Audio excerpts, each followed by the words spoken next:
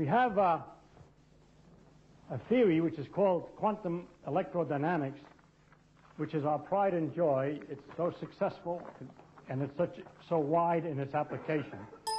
And what I would like to tell you about is that theory, how it works, or how it looks like it works, what the world looks like from that point of view. The uh,